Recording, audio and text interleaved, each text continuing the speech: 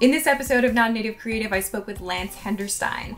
For this interview, Lance was based in Sicily, but his work usually takes him between Italy and Japan. Lance is a copywriter with a background in photography and other artistic fields, and in university, he studied East Asian languages and literature. He puts together his copywriting skills with his photography skills to produce a lot of travel related work. So he's created travel guides and travel articles for media outlets like the BBC, Vice, and Vanity Fair Italia, to name just a few. So, as you can imagine, a lot of this talk is focused on the realities of working in travel media today. We also talked about the roles and the responsibilities of photography and photographers in today's media landscape, so quite interesting.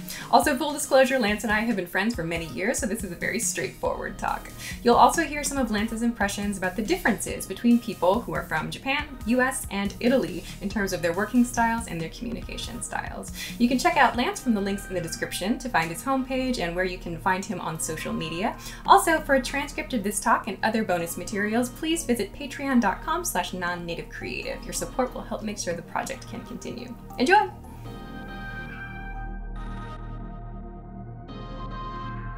On this week's episode of Non Native Creative, I'm super excited to welcome my longtime friend, Lance Henderstein, to the show. Thank you so much for joining me from Italy today. Yeah. I'm based Sicily. in Tokyo. Yeah. Yeah, yeah. Sicily. Thanks. Super exciting. It's the longest distance episode of the show so far.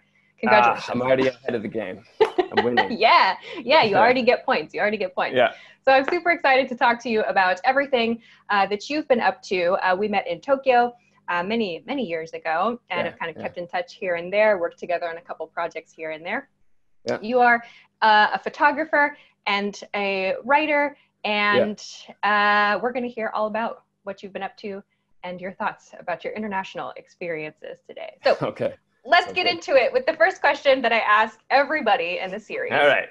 Yeah. One that that that people often go, "What is this girl talking about?" For uh, please imagine yourself as if you were a superhero, uh, and if you had to describe your personal origin story, the thing that kicked off everything for you in your life and your creative and your international experiences, if you had an origin story, what would that be, and can you tell us? Ah, an origin story. It's kind of tough. I feel like I have these these left and right turns that like negate the, the mm. earlier stories. But um, joke answer, I guess, would be Eminem, like Eight Mile. Please tell us pre- more. pretty similar I'm to ready. my. It's essentially a biopic of my early mm-hmm. teens, but with um, more rapping for me. No. How much more rapping? A lot. there was a lot of rapping. Um, yeah, no, that's pretty similar. I mean, it was it, my friends when that movie came out were like, "Have you seen this? It's you know, it's really close." And I was uh-huh. like, no. "I'm going with Eminem. He's the Eminem." Okay, yeah, so he overcame the odds, and he exists in places he should not be, probably. Oh. Um, okay, that's, that's uh, I'm nothing like Eminem personality-wise, but like mm-hmm. that that kind of where you just go totally culturally off. Um, okay from where people expect you to be, maybe it works. Gotcha. Sorry, it's not not so. No, but I I think that yeah. we can we can, we can come back to that a little bit later for sure. Yeah, I don't know. Growing up, I was you know I'm born in Detroit. Um, I moved a ton as a kid, so I was like always back and forth, moving mm-hmm. all around. So needed to make friends quickly. My friend groups were obviously really diverse and and you know not typical for mm. I think someone who looks like me. You know what mm-hmm. I mean? Mm-hmm. Like the, it doesn't jive with how I appear, like the way I grew up. Um, so it's maybe formative in that way. Like um, you got to make friends quickly. You got to ingratiate yourself. You have to be a little bit overly confident. And I think uh, definitely my younger days, it was like you know a cockiness, the kind of brash mm-hmm. American mm-hmm. cockiness that you need. It's obviously it's a defense mechanism. I think you know any teenager does sure. that. Sure. And then hopefully you grow out of it, although that's not guaranteed these days. no. And no. it may be not even beneficial these days. Um, okay, but that makes sense. That yeah. makes sense. You know, like that ability yeah. to quickly get to, you know, build networks in your community. And if, like you said, you had a diverse kind of friend group growing up. Yeah. So what was it that sort of led you to thinking, like, I know you studied um, East Asian, you had East Asian studies was kind of. Yeah, like it's like a linguistics, Japanese it's a double major essentially. Yeah. So how, how did you get there through uh, through Oof. you know growing up in different places and so on? What what kind of yeah. brought you to that topic? I was always interested in like um, in in the way people spoke. Uh, so I grew up in Detroit in like on the border. We're on the border with Windsor, Canada. Like you can literally look across the river and see mm-hmm. Canada. Mm-hmm. So a lot of the um, a lot of the media, like our radio stations, um, tons of Canadian TV. It's just terrestrial TV. It wasn't even like you know cable or anything. It's just regular beamed over. Mm-hmm. So I didn't I didn't realize that they were Canadian shows. I was just watching them. Like uh, you can't do that on television or Mr. Dressup. I'm aging myself a bit here, but and Americans, you have no right. You never even heard of these shows. Um, no. So these were on, and I noticed how they talked. Like they would say uh, dollar and like all the you know all the oh the Canadian Canadian things like sorry, and they they just had a very clipped way of speaking. And I thought I had like a an incorrect accent because they're on TV, so they must be legit, right? Oh, okay. Like kind of clicked on for me. I'm like, why? Wait, why does my grandpa have this weird accent? I don't have this accent. Like, everyone's talks different. Are we choosing? Mm-hmm. I remember thinking about this all the time, and then doing impressions, a ton of impressions when I was a kid uh-huh. of everybody around or people on TV. Um, and so I think the the linguistic thing was was clicked on early and then moving a lot obviously moved to california when i was a kid and then florida and then back to michigan and then up mm-hmm. north michigan back to detroit wow. and noticing that there were differences everywhere i went like everyone said did something different or had different mm. words that they were choosing um, so i've always been interested in that and always asking why why why you know like mm-hmm. really overly curious probably to the chagrin of my teachers growing up. But they always like stop asking why. Just memorize okay. everything. So was there some kind of moment that you were exposed to like Japanese media or to uh, Asian, you know, art or history or something? Yeah, I was never into like anime or anything like that. But my grandfather um, fought in the Pacific Theater and was like in the Battle of Okinawa. He's in the Air Force. Uh, he actually volunteered for the Air Force, which seems insane. Mm-hmm. Uh, he didn't have he didn't have to go. He got into some engineering program. He could have gone to Stanford and just like hung out for the war, um, but quit and decided to to volunteer. So he ended up in Okinawa and then at GHQ um, for a year or something when he's like, you know, he's mm-hmm. like 20 or something at this point. And uh, I, I mean, that's not the reason why, but I guess that must have kind of, you know, flipped a switch or something to let me know that that existed and that there was some kind of family connection to it. Mm-hmm. Later, it made it was cool because it had depth, and I went to the places he went to, like Hanamaki and like you know all these, um, you know, places in Tohoku where they the the soldiers were, and uh, yeah, that was weird. Like you know, kind of circle mm. of things. Um, and then I really didn't think about it. I always wanted to be bilingual definitely. So I assumed it would be like Spanish or something useful. In America, sorry, not to say the Japanese. You know what I mean, though. You know what I mean. It's it's an isolated language. Like Spanish, I can speak in you know how many countries to how many. Yeah, yeah. Though I have people. found that knowledge of Japanese has allowed me here and there uh, to understand things that are written in, in Chinese for sure. Even if I can't read it, I can at least I at least know the characters, and I'm like, oh yeah, two for one with this language. so. Yeah, it definitely is helpful um, in Asia, but just in America, from an American centric sure. point of view, sure. I assume Spanish. You know, of course, it's the Western Hemisphere. Probably um, a little more useful, or a little more mm, there's probably a little there are more opportunities to use it well depending you, on which part did you have a language that you studied before japanese? Did you yeah i studied uh, i also studied spanish because at my spanish, high school well i just i just took whatever language class was available to me at, at any point in my life. Like when i was in uh, yeah. middle school it was like we had like this egypt you know you had like the, the junior high school part where you learned about you know like egypt and ancient greece and stuff yeah, like yeah. that. And when we got to the egypt part my teacher handed out these um, like little it's like one page worksheets. That were hieroglyphic study sheets. And they were essentially just like bird equals a like dog yeah. equals c. And i was just like yes this is so yeah. awesome. I'm learning actual hieroglyphics. And i would like write my dad notes in that stuff. So it's like it wasn't a real language but that would like those kinds of things like whatever was available yeah. for language and stuff i was studying it. So yeah that was the first time I was. But it feels like it was always it was always in you, right? Like you always wanted to do. it. There was no like thing that made you go like, oh, I need to. It was just like I want to. This it curiosity. was more like it's a puzzle. It's something ah, okay. to figure out, you know. Like yeah, I liked that. Yeah, yeah. But then, yeah, there was a, a French slash Spanish. There was a Romance languages introduction course when I was in eighth grade took that, and then Spanish in uh, high school for two years, and then uh, started studying Japanese after the Spanish classes ran out. I just started oh, studying oh, really? Japanese on my own. Oh, yeah, just, we, there was no more available, so. Yeah, yeah. So oh. I moved on to Japanese. Uh, yeah, junior year of high school. So. Okay. Mm-hmm. So were you learning Japanese at a school? Were you taking some kind of Japanese lessons, like in in in university as you were studying East Asia? Yeah, university was my major was linguistics and Japanese, so like okay. uh, it was like half and half. I realized quickly that well, I went okay. I went to art school first, and I dropped out because it was too expensive. So there's a Center for Creative Studies in Detroit. It's College for Creative Studies now. It's a really good design school. And I got in there. They gave me like, oh, they gave me ten thousand dollars scholarship, but like you know, tuition's like forty. Mm. And then supplies for art school, and then I have to live downtown, so I have to rent. It's like you know, I'm looking at a hundred thousand dollars just you know in the first couple of years or first year. So it's just like I grew up really poor, so those numbers just hit me like, uh, this is this is insane. I'm not right. doing this.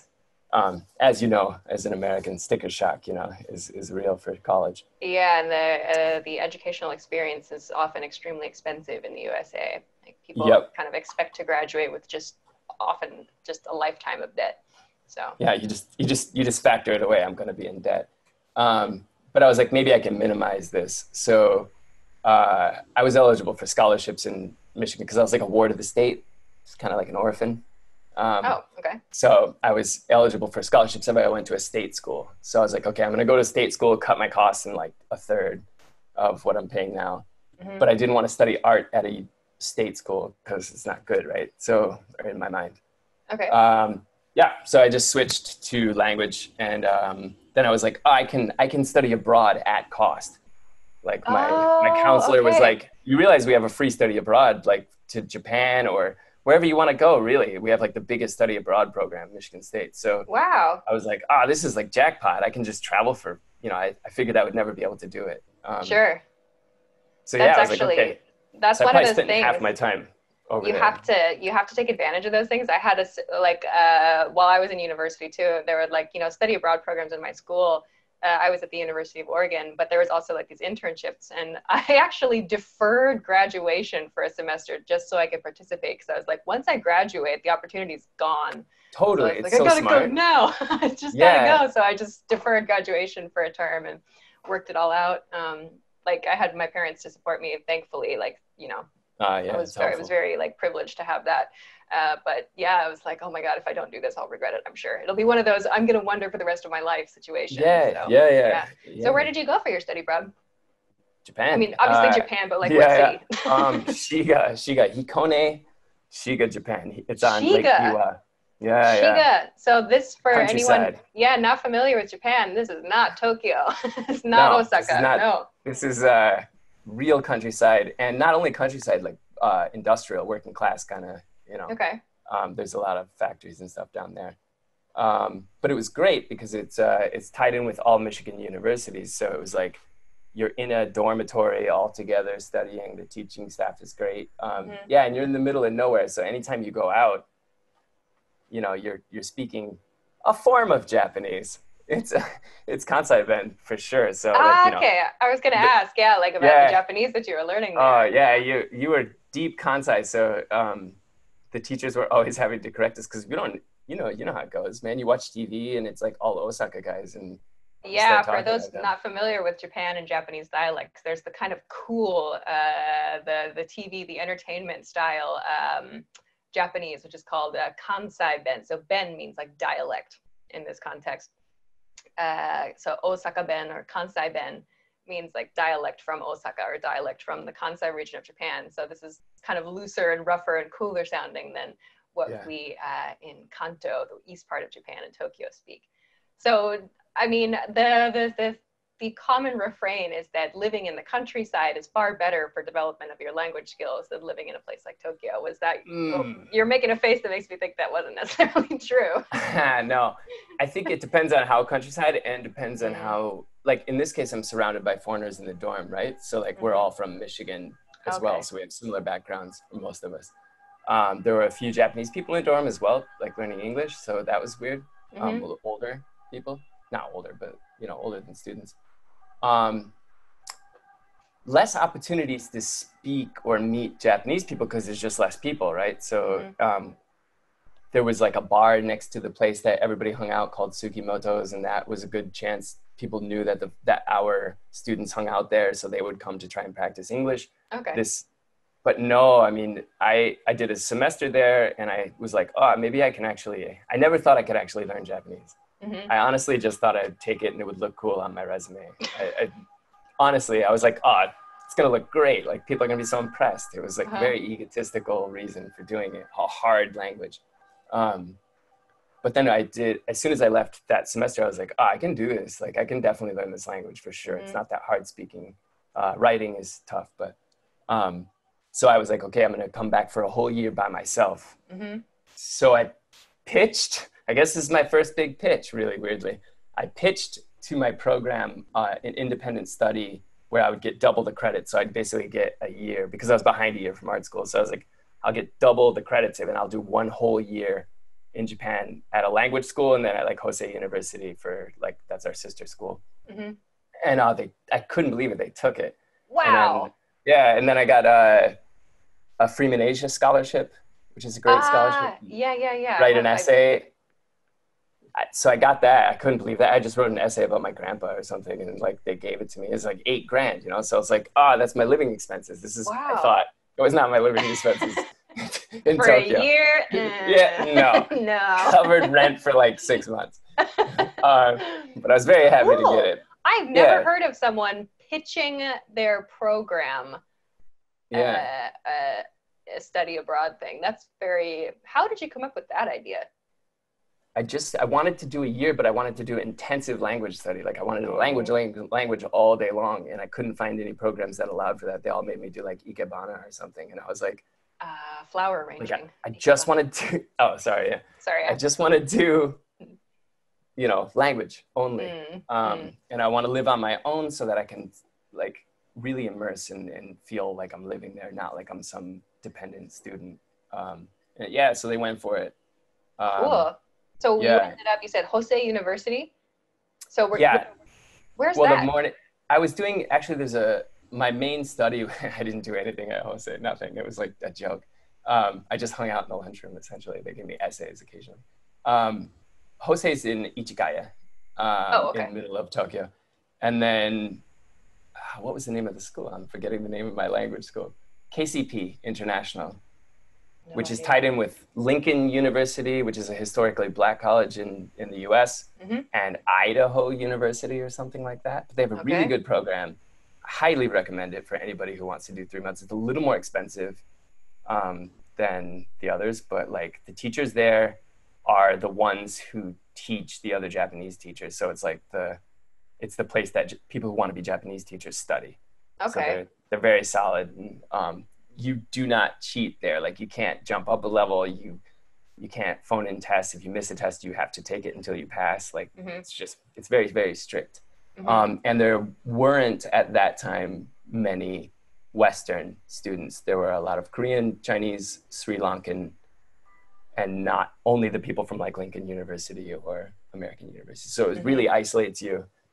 And uh, yeah, I mean, it really that solidified my language skills. I think. Okay, so you took that year to kind of to really build up your language skills and like I assume also get more comfortable living in like city Japan. Yep. Uh, so I assume then like once you once you had that language skills, you're like, all right, I want to put this to work, you know, literally and start working in Japan. Did you move directly into working No. with? What did you do after that? I wasted it for three years. Uh, Really? I- I- yeah, yeah, yeah. I don't know. I do this a lot. This is a, a bad habit. This is if you want some advice, don't do that. Um, stick with stuff. I, yeah, I just I don't know. I was like, okay, cool. I did that. Now I got to be realistic and you know keep working. So I got a job out of college working for CBS Radio, and I was gonna do radio. Dying industry, really dumb. No one saw po- no one saw podcasts coming um, at this time. So Mm-hmm. okay. so I was living in Los Angeles. This is like also, by the way, like the worst economic situation in. This is like the deep This would have been what? doldrums. 2000 2005. 2005. Okay. Yeah, I'm old. So, yeah, it's 2005. So I was like, "There's no jobs, man." and no one's Oh. hiring. So I took Uh-huh. the first one I got, which was good, CBS Radio, just doing board and editing. I was living in LA, which I hated. I didn't. Yeah, like your your comment earlier about you know expenses and life expenses. When you said you were living in LA, I was like, that can't have been cheap. like it's still not cheap. better than like New York or San Francisco or something, which I just thought you can't, you know, unless you have a Mm. trust fund or something. I Um, see. So what brought you back to Japan in the end then? Uh, yeah, I burnt out in LA, honestly, Mm. and uh, I quit. I just quit. Like I walked into my the office one day and was just like, I'm done, Hmm. and uh, I just got burnt out. It's uh, it's but yeah, it is costly if you consider like car costs and yeah, I don't know. It just wasn't working. I, I I had a bunch of friends who moved out of there out there from Michigan after that, and they all loved it, and they're still living there, and they're doing great. Mhm. Uh, but for me, it just wasn't a fit. I always saw myself in like you know Chicago or Okay, so you hopped on a plane back to Tokyo or something. so I literally just was like, my dad was like, why don't you just take a vacation? You like you like Japan. Why don't you go see your friends and just take a couple weeks off and decide where you want to move next? As soon as I got on like Narita Express, the like you know train that goes from the airport, I just sat down and the lady brought the tea. It was just like, ah, like I'm gonna stay for a year. So at what point did you start working as a photographer? Oh, uh, were yeah. you doing- I, Did you do the I was English always- teaching thing for a while?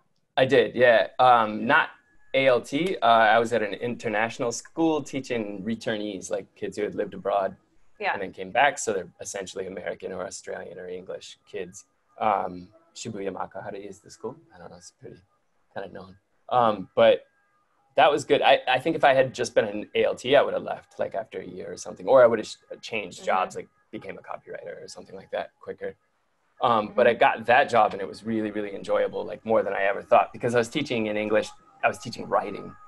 I wasn't teaching like ABCs, so it was like essentially like being a junior high school teacher in America or something, Oh, okay. better, better behaved kids uh, for Okay. sure. You know, a bunch of little nerds. They were great. I loved them. Um, and it was very, very satisfying in a way that I totally did not predict. Like I really Mhm. enjoyed it, um, especially because at that age I didn't like I had such a different life from them that I had a lot of good kind of things I could express to them and help them get through their. You know, 14 is the worst age I think, or one. Returnees are a fun group for sure. They're they're really great. Yeah. Did they ever ask Uh, you, do you have any? I know for my returnee group, uh, Yeah. I remember a couple of real good questions they asked me. Do you have any? Like they're like they just ask you something so bizarre. my favorite Ah, question probably get just came from he must have been 10 at the time, returnee kid. Yeah.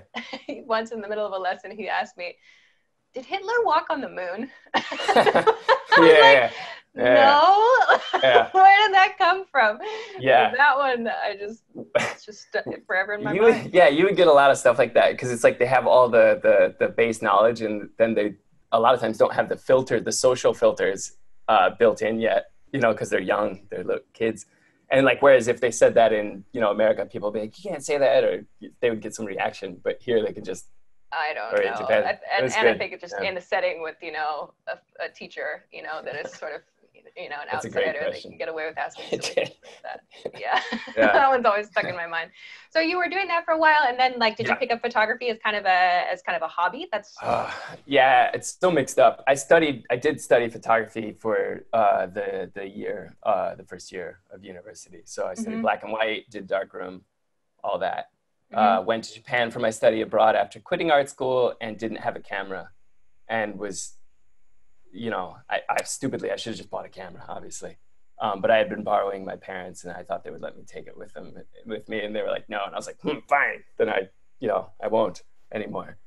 Um, so I was always taking photos um, for myself and for my family and that kind of thing. Um, after I finished teaching, um, I did a I prototyped like a program. I was going to go get my master's or like continue education or something. Maybe Mhm. maybe go get a master's in photography or something like that. Uh, and my friend sent me this new program, which is now kind of a gap year program for Stanford Design School Mhm. at this time it was like just a startup um, called experience institute which is not the most grabbing name but um, that sounds familiar actually. yeah they're doing good stuff. They do stuff with like leo burnett in in, uh, in the states a big ad firm um, something with berkeley now and other Mm. things. So they, they basically give people who are in very specific majors or you know design or something like that who want to try something totally left field for a year get some experience but also get paid to do it because you know obviously unpaid internships are the devil. Don't do them uh, if you can if you doer of an unpaid internship right uh, well at that time that was all there was but Yeah. nowadays i think yeah people should get paid um, ideally so yeah, I helped, so I was like, okay, I'll try this. So I did that for a year. So I was working as a copywriter, as a photographer, as like I did, you know, three different jobs, three month, uh, three months, three month contracts, like proper contracted jobs. Just wh- it essentially taught me how to freelance. Was like a freelance program, and then I obviously helped them prototype what to do in the future and what works and doesn't Mhm. work and what I liked and didn't like, and um, it's kind of an exchange. Uh, and Oh, then from then from there, I just kept freelancing, and because I had experience copywriting now and also experience uh, with photography, like I had enough to show people. hmm Uh, I just kept doing that and just didn't stop. So I've just Yeah. been freelancing ever since. But okay it's always it's always like some copywriting because the pay is much better, Mhm. and then photography. You know, at first doing like travel stuff, and Mhm. talk about that Yep. um, because it was because it was accessible. You know, Yeah. I could I could do it. Um, I didn't have to stop my life for four months and in bed with you know a group in a, a conflict zone or something like that. I couldn't I couldn't afford that or do it. Um, so I started with travel uh, and street because it's available. Keep you shooting. Mm. Yeah, and then obviously I haven't. I don't know. I've, I've veered away from the travel stuff for Mhm. sure, um, simply because it doesn't pay. ah The okay. dirty secret. The dirty secret is you will not make a living as an editorial photographer unless you are one of the editorial photographers, and you probably have some other income, or I a see. spouse, a I spouse, or yeah, a the, trust uh, fund, or something.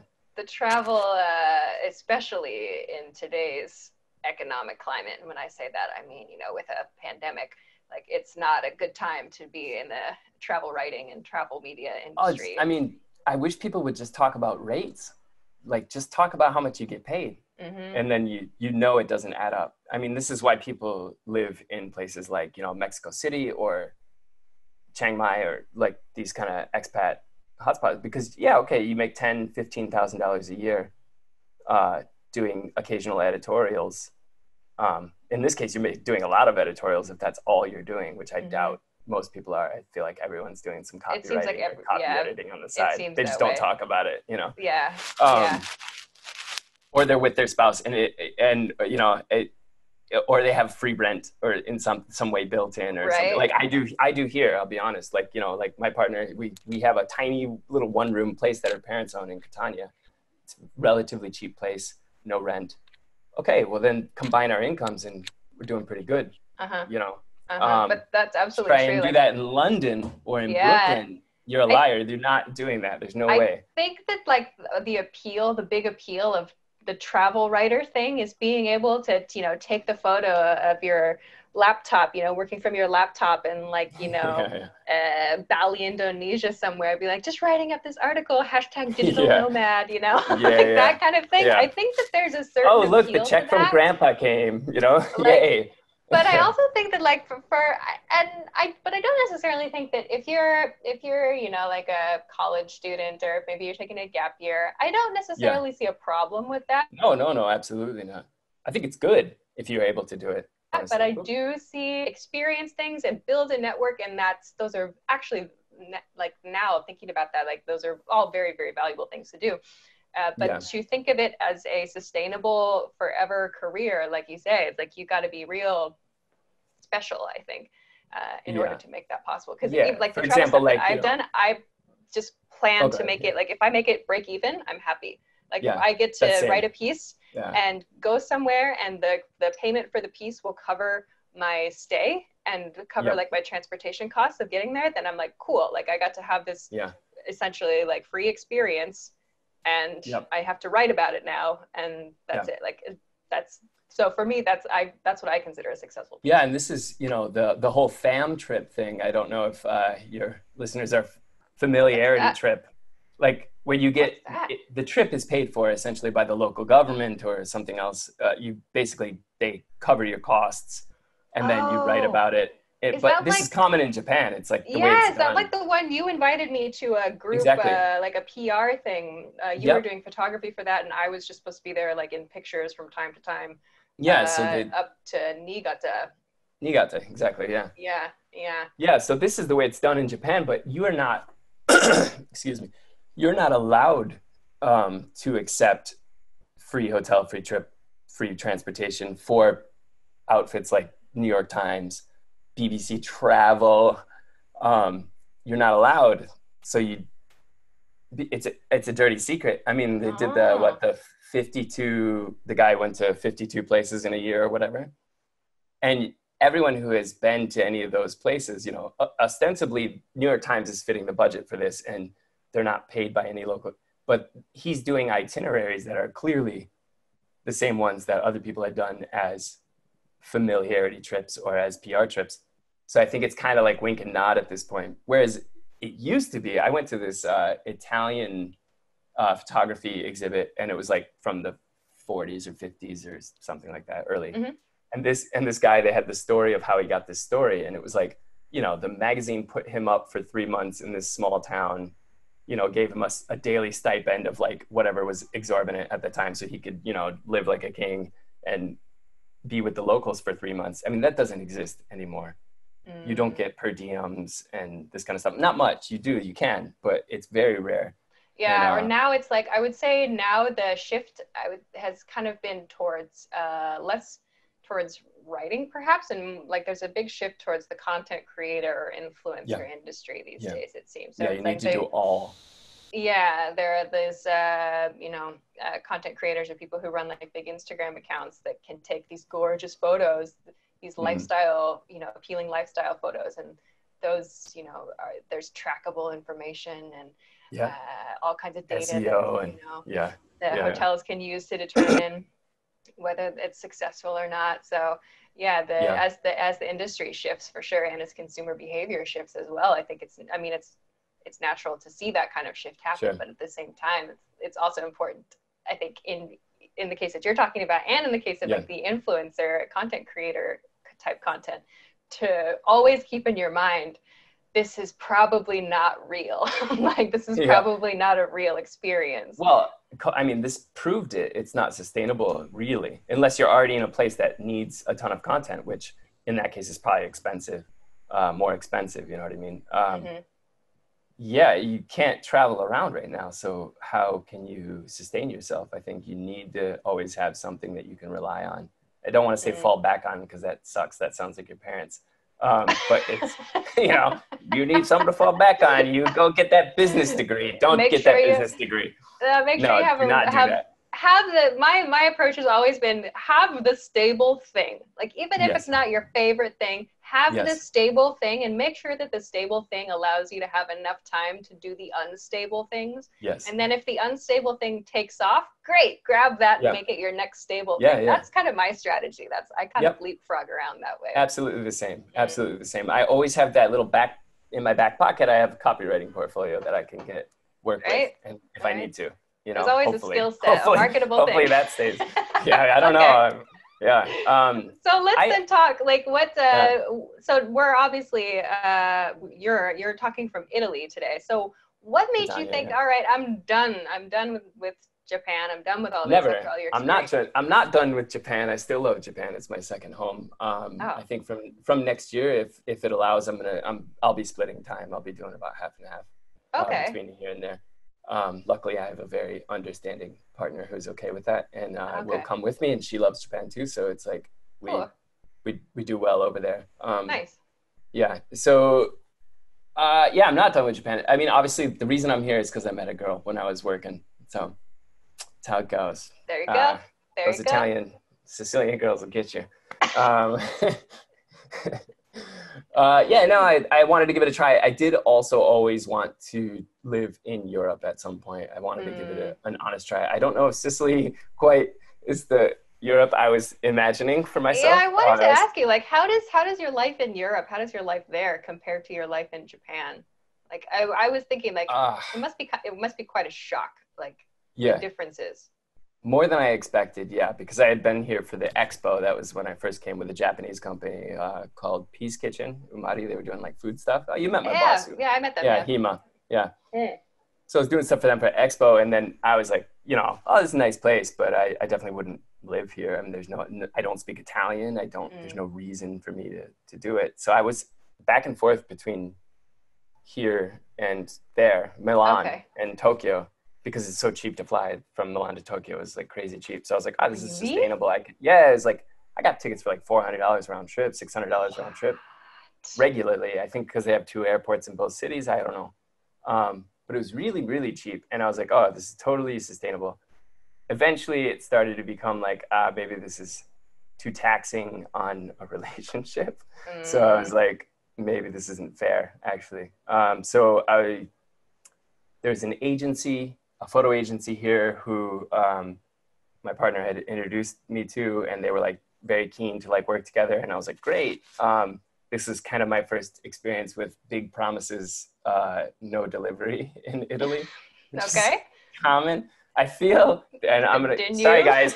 This is my viewpoint only. This is my experience. For this does not speak is- for everybody. he is he is It's attempting just to. my personal experience. Stereotypes are coming, guys. yeah, if um, you're just listening, this is this is a. I won't your go- mileage may too- vary. Yeah. I, I, I won't go too far.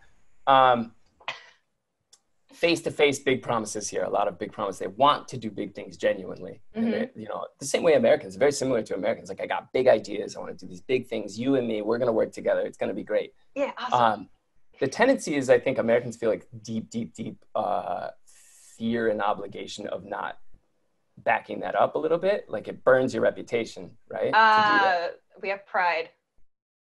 yeah, self pride.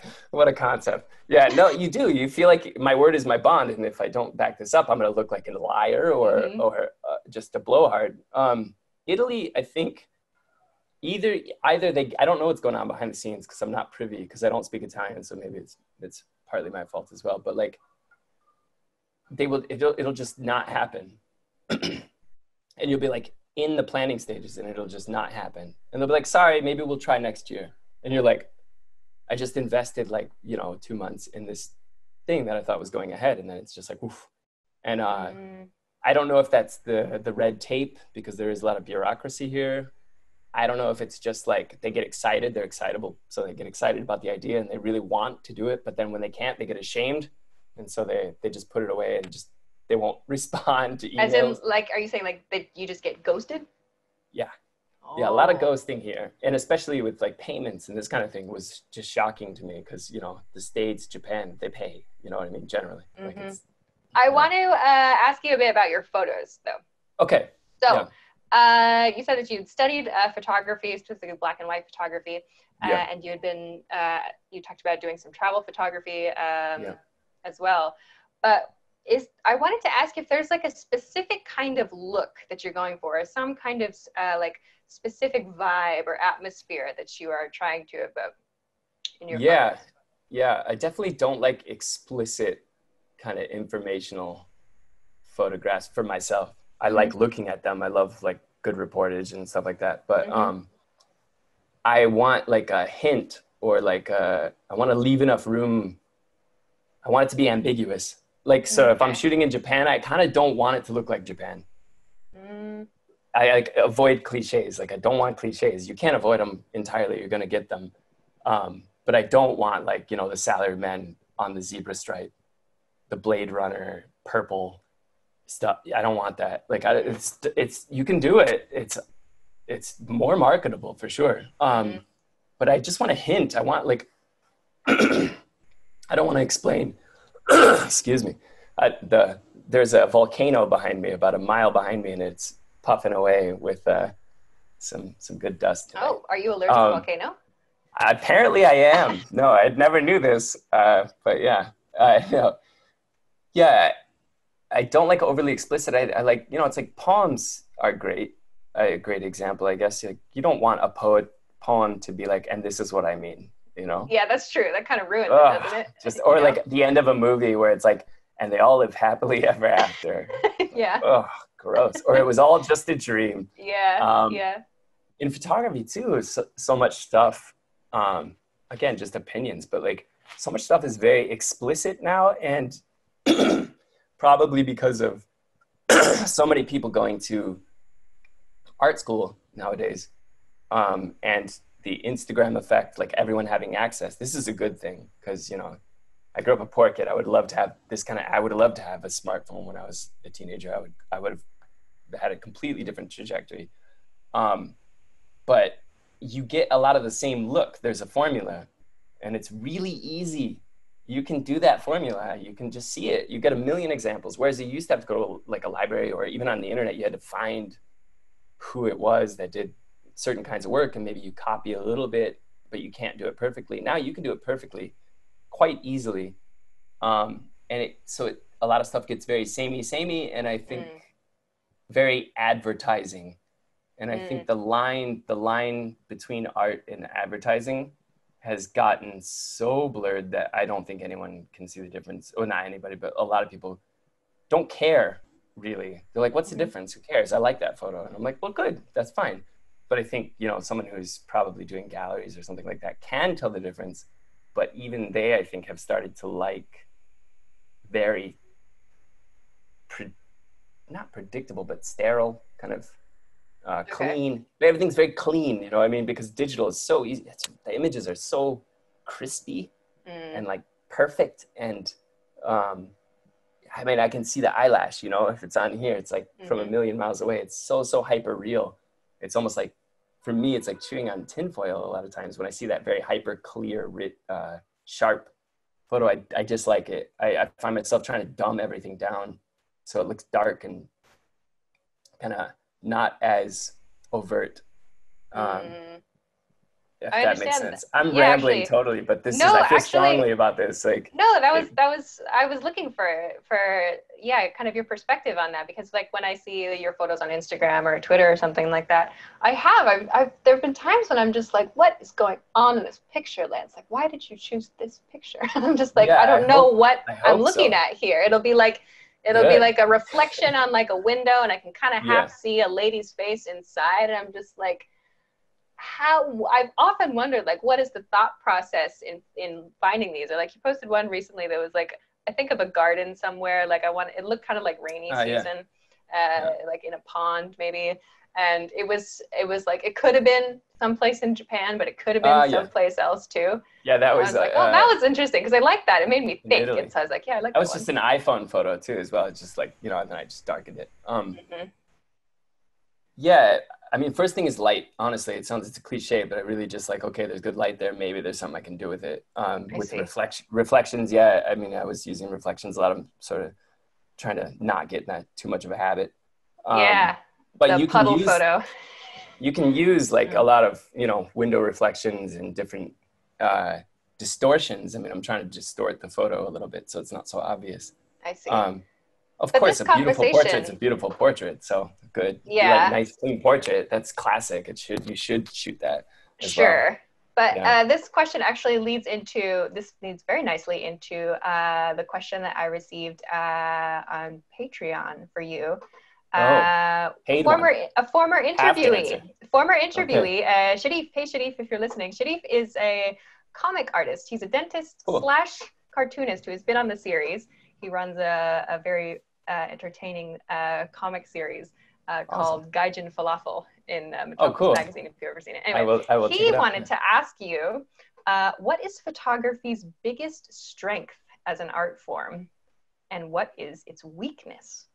Oh, as an art form, mm. um, its biggest strength is accessibility. I think that's the first thing. I mean, anyone can take a photo, presumably.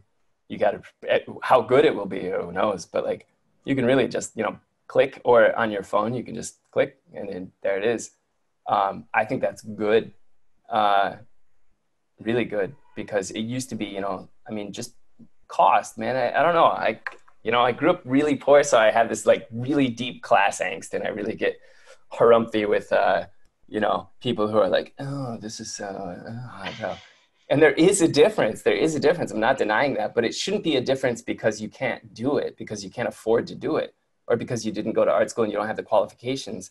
I think the great thing now is that like if you're good you're good. And you can have an old iPhone 5s. I mean, some of the best photos I feel I feel I took were on my you know iPhone 4s or something, and it's it's all muddled and it just looks old. It looks good. It looks unique. Um, that's a good thing. That's the mm-hmm. strength mm-hmm. of photography. It's accessible to everybody. That's also the weakness is because you have a lot of people doing it who think or just can't see. I mean, you, it's, an, mm. it's a skill you have to develop what looks good or what you want to shoot or what, there are rules.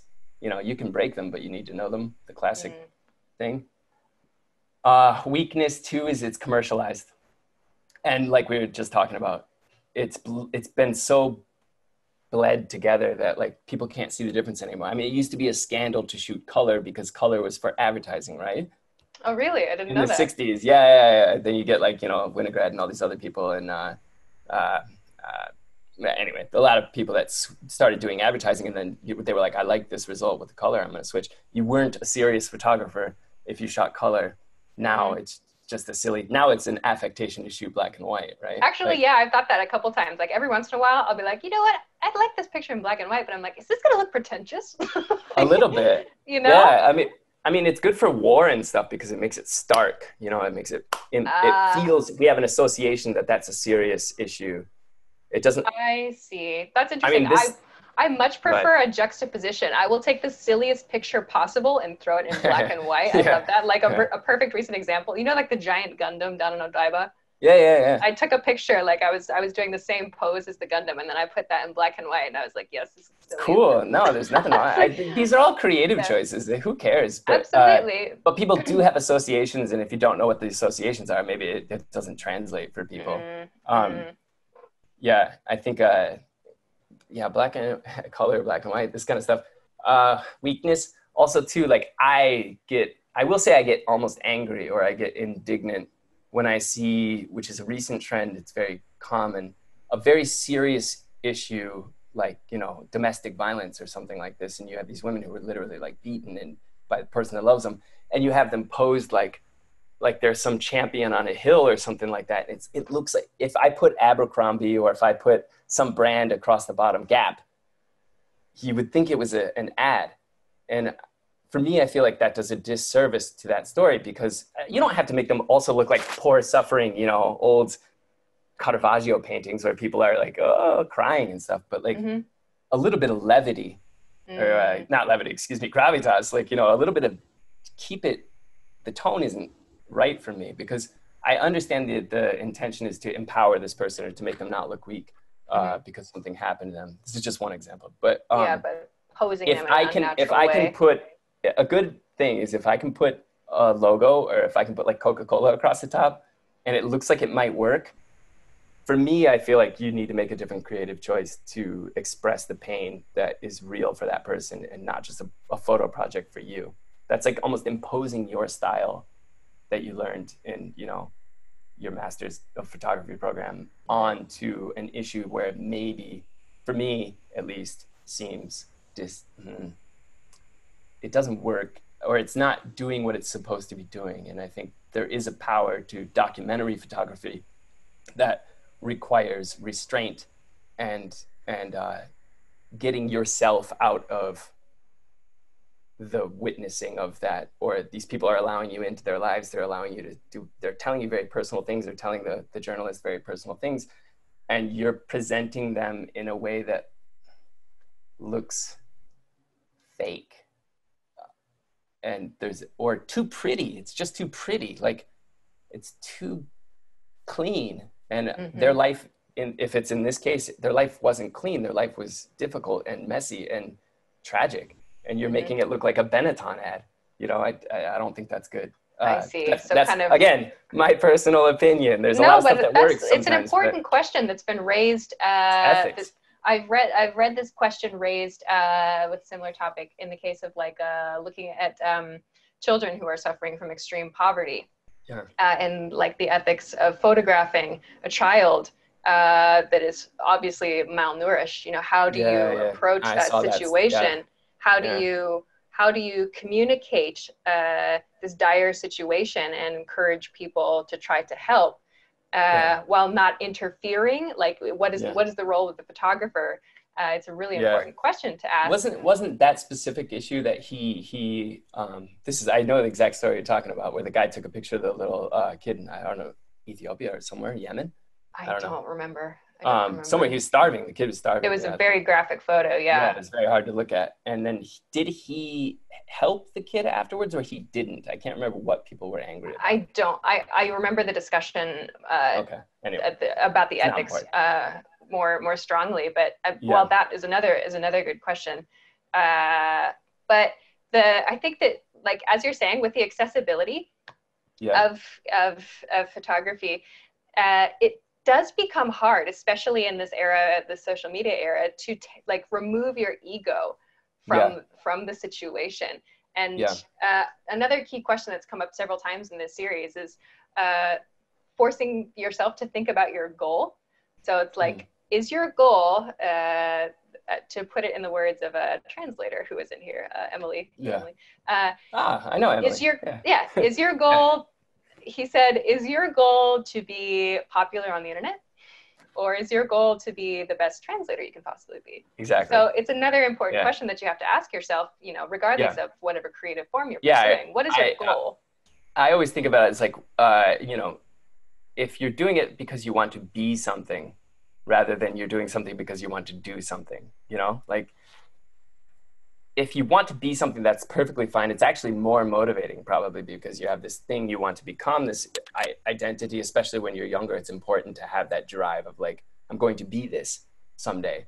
Um, but the thing that's going to sustain you is not people, not accolades because if you if the Uh. accolades stop or the praise stops are you going to still do it or are you going to stop doing it if you're Yeah, going to stop sure doing it exactly i'm sure that you're familiar with the very famous david bowie interview the never play to the gallery interview have you seen that oh i possibly but it's That not, is not, required viewing. Everybody who's listening Okay. and watching has to go and Google David Bowie never played at the gallery. It's like a minute clip, but he's talking Okay. about how, uh, as an artist, you have to always essentially do the thing that you feel that uh, is your is your creative work. So if you are okay if you are doing something uh, purely to appease other people, it's just not going to work. You know, Yeah. it's not the thing. or it'll be it'll be derivative i mean it's that's the problem with social media and instagram isn't it because i, I feel it too man I, if i get a like it feels good and i start thinking oh this one got 100 likes this one Right. got 50 likes everyone is prone to it even the Uh-huh. fa- most famous photographers that don't care Absolutely. they definitely like when people like their photographs that's of course, why you, we all want to be liked. You know, we're social natural. creatures by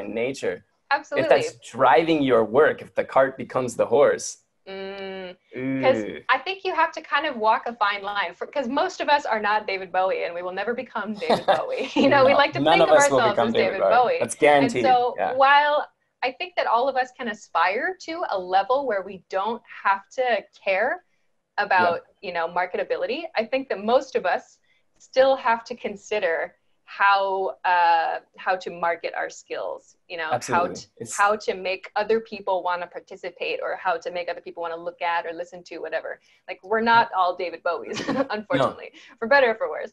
So you know how Yeah. do you how do you um, find that line for yourself? I think it's a really important thing to consider and to reconsider from time to time for sure. Absolutely. Yeah. But this relates to see i'm Yeah. segueing to No, you're good. You're uh, natural. to uh, just because our time is going real quick phew Yeah, lots of good topics. chatting, But I wanted yeah. to ask you, uh, with regard to this topic, then you've worked for big, uh, you know, media outlets. Yeah. You mentioned the BBC. Uh, you Yeah. did a piece uh, for. Uh, you've done work for Vice, uh, Vanity Fair in Italy, uh, and many more.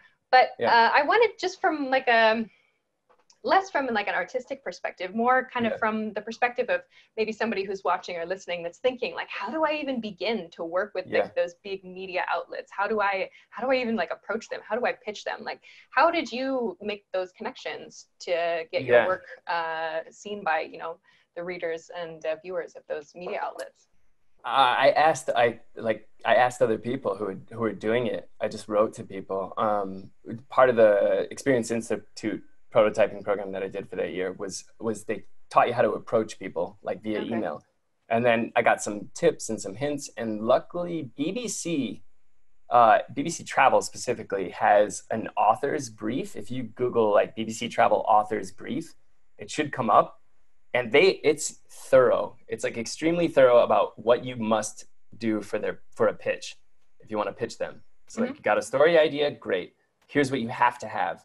This, this, this. Don't do this. It's like a, a little mini masterclass on how to pitch. And I think nice. if you follow follow that and do a like a more quick condensed version of that, you're gonna get a lot of hits. I was lucky mm-hmm. with BBC because I was uh, again Japan sells itself kind of, um, and I had enough photos to show them that they do at least the photos would be good. Mm-hmm. Um, yeah, but p- pitching people very succinctly, very cleanly, and not asking for anything. Mm. I think like make sure that you're telling them what you can give them. I see. Okay. Nice. You know what I mean? That was a good, that was a real solid piece of advice. That's useful for a, a lot of people, I'm sure. Um, yeah. Other things you've talked already, we've already talked a lot about uh, travel media yeah. and media, social media in general. But is there anything that you you think, you know, like um, you, you hope to see a change in terms of travel media or like uh, yeah. some way that you hope things are a bit different, especially, you know, post pandemic? Yeah, I think, yeah, definitely. Um, I think it, as we talked about, like it was a bit saturated um, with people who were kind of hobbyists or people who didn't really need to be doing that, taking up that space, because for them they don't care one way or another. They're going on that trip, or you know, the whatever they're stationed there, you know, um, with for, their job, so they do this on the side, which is okay. But they're they're weekend warriors or something. I don't know. Um, those people I think are going to be kind of off now, which mm. will maybe, maybe, I hope, allow people who are very, very serious and committed, um, and presumably maybe more experienced or more talented, to get more deep articles out. I think the checklist kind of stuff, maybe I'm wrong. I might be getting, you know, old and out of touch, but like the checklist, I, this is my hope. Uh, let's just say it's my hopes the checklist kind of BuzzFeed, like these are the top 10 places. We can all do that on Google Maps, man. We don't need you. Right. I go right. there with my Google Maps and I, I see the stars. I go, um, I don't need you anymore. I don't need a list. Mm-hmm. Um, what I would like to read, and I, I think the, the success of long form articles, uh, the success of, you know, podcasts like serial podcasts, you know, those ones are really long in depth, really deep. Um, and a lot of podcasts dedicated to one topic in particular where they go really deep. Mm-hmm. I think that's there's a market for that, and maybe subscription services like you're doing with Patreon and stuff like that. Maybe that's that's good. Um, that's my hope. I mean, I wish we could get back to. I don't want to say old travel writing because old travel writing obviously has all these, you know, problematic kind of outsider viewing, colonialist, yada yada. Uh-huh. Uh, that's true but the writing, the people who are writing, Norman Lewis, I mean, if anybody's interested in reading travel writers from the past, Norman Lewis, an English writer, he did stuff on in uh, in Sicily, the mafia, like uh, Naples 44 is like post-war. It's amazing. He's doing like a report, basically a reportage, but it's beautiful. It's literature, um, you know. And I I still believe that there are some dividing lines between a blog and literature. I know a lot of people it's all the same. It's not. Um, Rebecca West, uh, she did. It's a very long book, so this is not light reading, and this is not really what I expect from people because it's like Godhead for travel writing. But um, Rebecca West did something about Yugoslavia, where it's it's she's writing ethnographies about you know. Uh, it, it's just beautiful writing and very informative. Something a light version of that is what should be in like the New York Times. Mm-hmm. You know, a, a, mm. very very light, presentable version of that. Mm-hmm. Um, Edward Hoagland. Edward Hoagland is a great uh, writer. He can be a little verbose, but he's really beautiful. He wrote um, about Canada before you know it was fully domesticated or like colonized, I guess, uh, mm-hmm. where these people are living in like out out out in Canada, Canadian outback, and it's beautiful writing stuff that stands the test of time instead of stuff that'll be thrown away. A um, listicle, um, yet another one. A list, yeah. Just yeah. like go back and go back and read uh, travel writing from even just pre-internet, when stuff was actually had to be printed, mm-hmm. and you'll notice a striking difference in the in the level of writing, the, the, just how good the writing is, mm-hmm. purely. Mm-hmm. Um, I'd like to see a lot less I, a lot less. Personal Right, experience. I first don't care. I don't know you. I don't Mhm. care what your experience is eating tacos. I want to know where do they source that meat? Like, you know, do some work. Like, uh, I my hope is is that's because you're gonna get a lot of kind of hobbyists um, back doing other work that they enjoy. I'm hoping, not just out of work, which is. I would also sad. guess that that's a product of uh, tight deadlines and a lot of Totally. a lot of articles required in order to make ends meet. You know, you're just pumping out things as fast as you possibly can because you have to get talking about rates. It's exactly what we're talking about. I mean, why am I going to put? I've written articles and gotten paid nothing that were like, I was very proud of the writing in the article, and then I'm like, why did I do that? Mm, That is not worth my time. I just, hmm it is worth my time for me personally, as to feel good about myself for pride, um, and it is a good like, uh, it's a good calling card to show people this is how much work I put in, even when I'm getting paid fifty dollars, eighty dollars from certain publications in Japan that are in English. Uh-huh. Who can make a? You can't. Yeah. So it's, it's it's a blog. It's a glorified blog, which is nothing wrong with that. But don't present it, you know, as if you're uh, living off of that as well. yeah, it's, it's it becomes little tidbits of information that are useful here and there. I like Um, I like listicles actually. really, I, I I tend to I- overstate things, but I it- generally, especially, oh god, I'm gonna. they're I'm helpful. Gonna, I'm- do it. well, do it. to- from time to time, but like when I Your read opinion. when I read a listicle about Japan, I will hate Uh, click it immediately. wow. Like, when it comes up on Twitter, I'm like, oh, I got to see what this person put on this list. do you find do you find that you get very protective like territorial about japan because it's so misrepresented all the time and you become like almost a like i Uh, get very protective like when i see cliches repeated over and over i'm just like don't say that about my hometown I wouldn't don't say know that what I get talking about. protective, as I'm just like, oh, here we go again. it's exhausting oh my god! if i see one more blade runner photography I'm reference so i'm gonna tired jump of off a Blade cliff Runner. Yeah, Blade Runner. Fucking That's the one. cool you took purple and you went all the way over on lightroom nice Yeah, It's- those, yeah. that's I, tokyo is not purple everybody I know. tokyo's not purple I know. it's not at all like never I can I appreciate it when if an artist does choose to make like you know kind of like an artist's rendering or like they do like Sure, a, sure, they do sure. a special illustration. it's like a video game background But- kind of. But they yeah, they yeah. make it clearly like they've clearly drawn it with like pastel pinks and purples. Like it's a clear distinction between the way the city is and the yeah. way uh, Well, that's that's that's a different thing. It's not a photo. It's it's at but that point. there's you're still so many people, and you were you mentioned before it sells. It's absolutely true. You know, Oh, it gets published in the New York Times and thousands everywhere. of Like, you know shares and likes on social media, and everybody's going Blade Runner City, and I'm just like, uh, I I tried I tried to say something once on Twitter and learned my lesson hard. I don't know who it was even because I just blocked everybody really quickly. I was like, what was that? I got swarmed. I guess I don't know. people because people I- swarmed you I was because just like you these. said, Col- I was like these colors are. Not, it was like a morning a morning sunrise or something, and it was totally purple. And I'm like, there's no need to do that at night. Uh-huh. Okay, it, it jazzes it up. It looks cool. I get it. But like in a morning sunrise, nature in all its glory in Japan, and you made everything purple, and it was just my eyes exploded. And I was like, Tokyo is not this color. There's no skies anywhere in the world that are this color uh-huh. ever.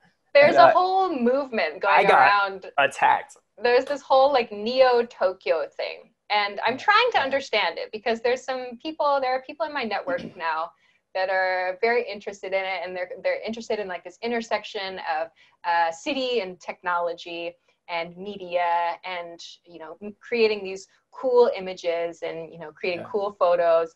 And I'm trying to wrap my, that's kind of the latest thing. Like, you know, I'm trying to be not like, what is going on? What are you kids doing? Sort of person. thing. But I'm also kind of like, I don't quite understand it yet.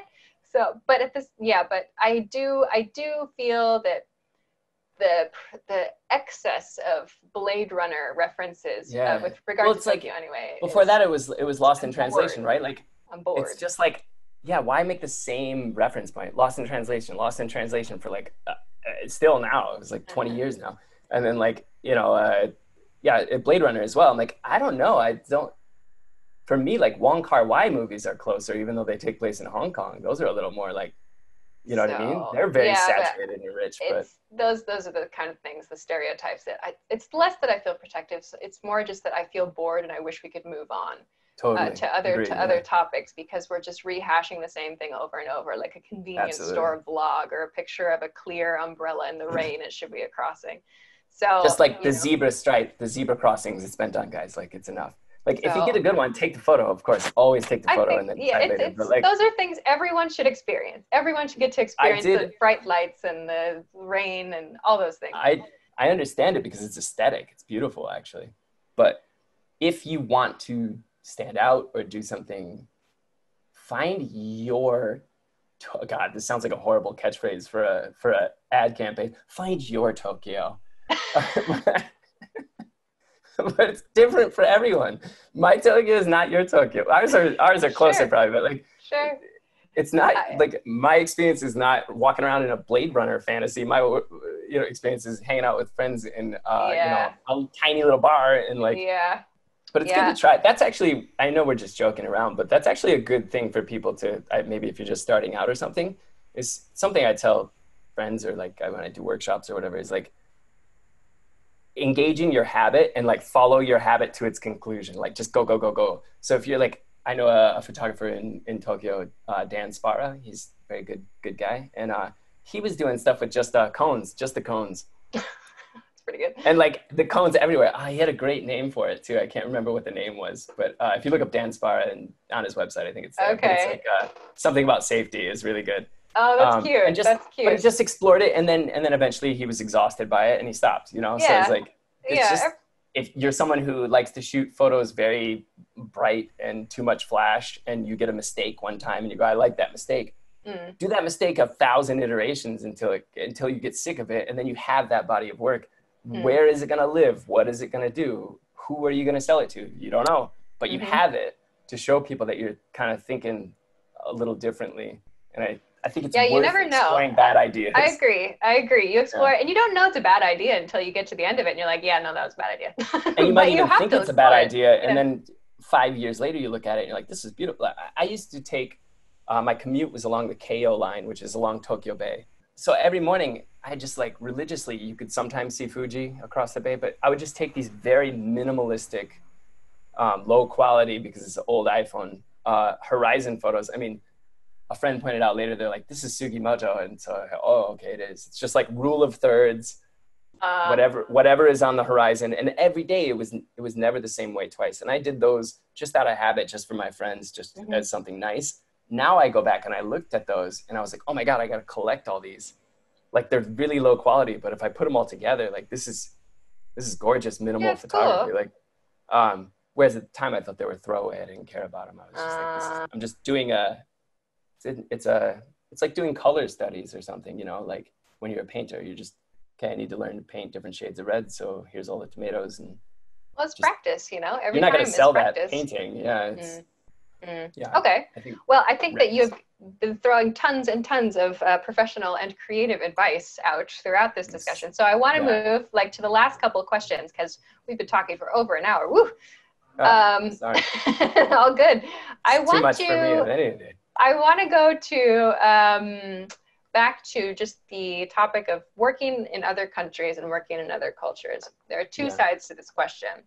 First, what do you think are the joyful or the exciting aspects of working in another country or another culture? What is it that's attractive about it to you? Uh, I like that. Maybe you find this. Not everyone agrees with me on this, but I am quite literally a different person in Japanese than I am in English. I think. Mhm. Like I'm a different person. There's some some of it transfers over, but like when I'm speaking in a meeting in you know America, I'm I'm a totally different person. Mm. I'll shout out whatever you know because the rules are different. One, but like also because just I don't know. It's like your brain shifts. It's code switching, right? I mean, like everyone does it. Um, that aspect is.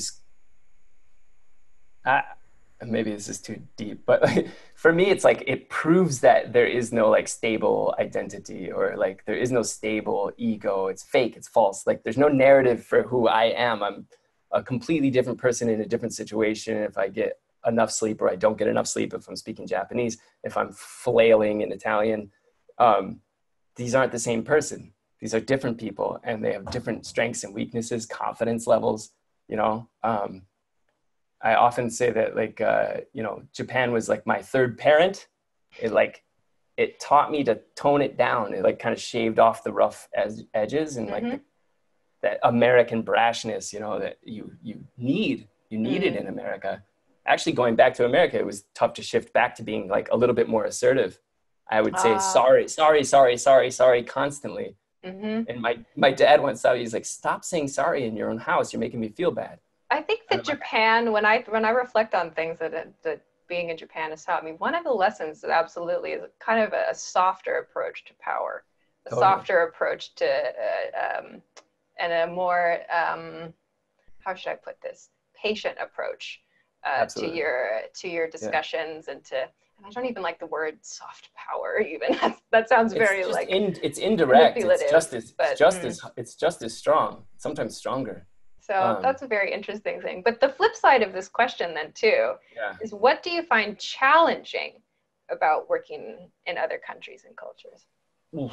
Uh, well, obviously, America is a very individualistic country. Um, so if you have that mother culture whispering in your ear all the time, there's a many times anyone who's lived in Japan, especially, can relate to like you want to flip the table over and be like, "Listen, idiot," you know what I mean? And it's not. It's just that they are not going to give in to your personal proclivities. You need to adapt to this situation. The rules are set generally work within the confines, work within the restriction. Uh, in America, you kind of just blast through the. You say the restriction doesn't matter, Mhm. you know, and there's a lot of countries like that. You know, maybe, maybe Netherlands or France or other places where it's it's viewed as leadership or good um, to to have the the left field idea and say it openly. Um, Italy is very individualistic, like America, but it's very inconsistent. Like in my experience, I just one minute everything's great, the next second everything's uh, wrong and like not good. And I'm like, it was fine a minute ago. Like, what's going on? Why is everybody, you know, again, my own limitations, like, why is everybody freaking out now? Mhm. Um, a lot of times because of lack of attention to detail or something like that. But I like, Okay. I like working on very loose. I want to say stuff that is not like managerial in Italy is way be- is much better. Like vineyards or something. If you go to vineyards or um, these kind of places, these kind of spheres are more. Um, they're in their they're in their comfort zone, and they're very good at what they do Mhm. and they're extremely knowledgeable and they will they will school you and it's a very free flowing and easygoing trust based uh, business interaction or marketing interaction or whatever it is. Mhm. um, that looseness is i would say even more uh, enjoyable than than maybe in the states where it's like we're very serious because we're putting a lot of money into this campaign and blah blah blah here they're like i trust you you do what you want you know, Mhm. And you're like, wow, really? Like, I don't know how to do it. You know how to do that. I make the wine. Okay, bye. Like, That's cool. That's And- cool. yeah, if you're a creative, that's awesome because you're like, wow, I have carte blanche. I can do what I want. Right. and that Um, was kind of one of like the one of my hypotheses actually in going into the series in general was that like, you know, in my experience too, working with kind of more cre- creative, less, you know, big companies, big business, big bureaucracy. Like while those have it, you know, there are wheels and rules and everything that make those things go Yeah. and uh, you know make them efficient or whatever uh, Yeah. it's often you, you got you have to be willing to play by those rules and so that's very not attractive in some cases uh, and for many people your personality type just doesn't fit so well with that but i, I Yeah. was curious about i've been curious about that you know why is it that you know people who are serious in creative fields you know there's it's it's a very different um it's a different way of approaching your work and approaching even your collaborations too so that's Yeah. interesting uh, Yeah. to hear that uh, from a winery too. Oh, that sounds fun. Uh, But because time is very, very long Yeah, this sorry. episode, I want to get to you the, can the- edit. You can edit out all the hums and ahs and like cut like five five minutes good. from it. That's an old trick I use in the radio. I just cut out all the breaths and then you get Oh. down like two minutes. Oh yeah. Um, I want to. I mean, like uh, I know. Obviously, we both know. Obviously, the world is in a bit of a is a bit. What should I say? The world is in a lull, experiencing a lull. It's a real fixer upper.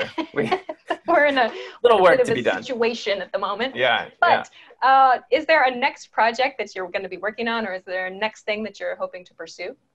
ah I, I guess what i'm working on right now just to give you an idea of like the kind of balance between like what i have to do for money and then what Uh-huh. i what i do for my own enjoyment or my own passions. Yeah, both. uh, Basically, the question is what what can people look out for? Uh, what can people Yeah. Expect to Um, I am. I did. I worked with uh, a fashion company called Golden Goose uh, here in Milan. They do shoes.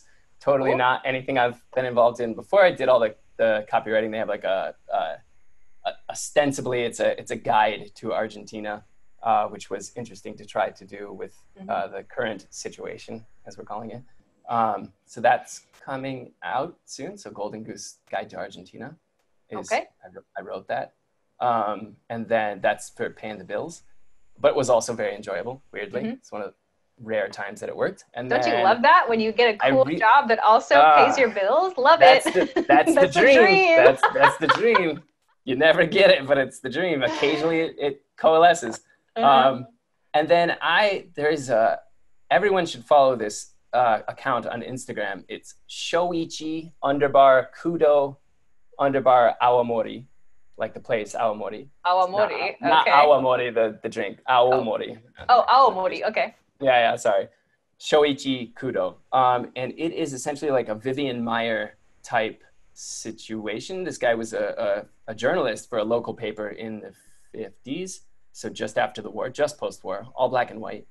Um, was like, group really poor, is not able to get any jobs because it's all credential based in Tokyo. So he, he's basically relegated to shooting his hometown.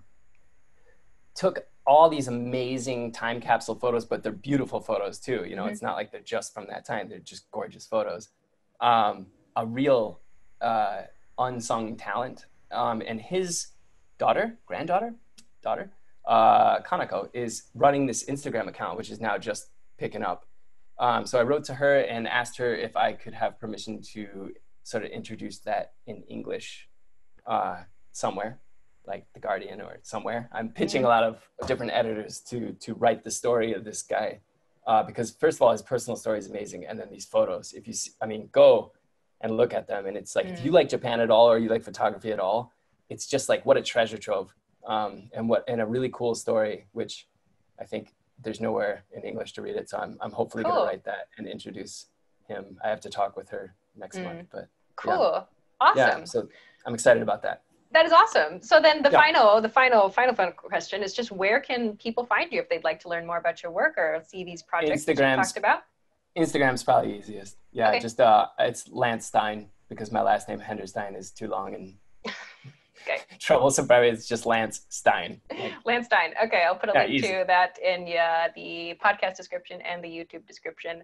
And Yeah. anywhere anywhere else that we can find you, I will put that into uh, wherever wherever you'd yeah, I like me to gotta link to. update my go. site. I'm very bad at marketing. This is the the secret, the bad secret is I. Well, I'm not good awesome. at marketing. That's yeah. okay. That's okay. You know, so we all Good do at what we emails. can. Good at emails. That's it. That's something. That's something. Yeah, it is something. Okay. Well, I think All we'll right. wrap it up here. But if you'd like to Yeah. add any final thoughts, now is your chance. Uh, no, I don't have any words of wisdom. Everybody's got to make their own mistakes and, and figure it out. We're all just winging it. We're all just figuring it out as it goes. And you can't predict anything in this year. Who knows? November might be much, much worse. Right? Let's hope not. But Let's hope not. Yeah. let's hope not. But that Let's is hope true. for a, bet a better 2021. That's my, sure. my genuine hope. I really hope. Agree. Anyway, I will end the conversation there. So thank you again so All much right. for your time. That was a lot of fun. Always a pleasure, Alisha. Hope to see you Uh, very soon and in good health with everybody. For everybody. sure. Me too. Yeah. All right. Awesome. Thanks so much for watching this episode of Non Native Creative. If you liked this episode, please make sure to hit the like button and subscribe to the channel if you haven't already. Feel free to leave comments about this episode in the comments section too. Please make sure to stop by the project Patreon at patreon.com slash non-native-creative. Patrons can get access to Patreon-only discussions, bonus behind-the-scenes media, interview transcripts, and access to patron-only live streams. Your support will help make sure the series can continue to share exciting, interesting stories from creative people working across borders. Thanks again for watching. See you next week.